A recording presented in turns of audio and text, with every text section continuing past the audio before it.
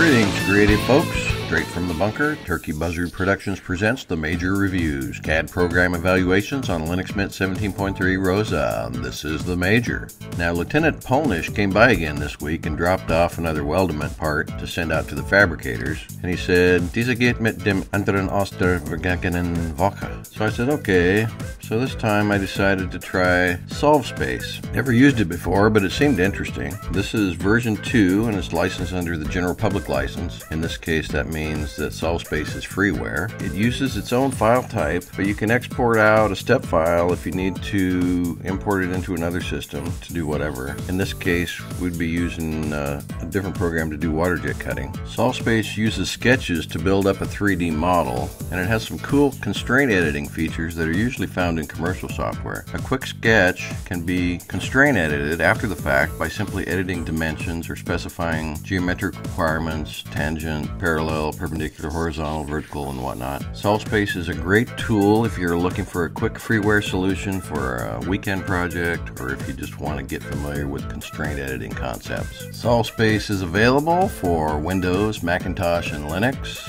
Find the links in the video description. And in case you missed it, licensing will cost you exactly zero US dollars. The website at solvespace.com contains a tutorial section that'll get you familiar with the tools in less than a day. Today we are running SolveSpace using their Windows version, running it under Wine using PlayOnLinux, and it works great. Why don't you install the Debian version and put a note in the comments below about how well it works.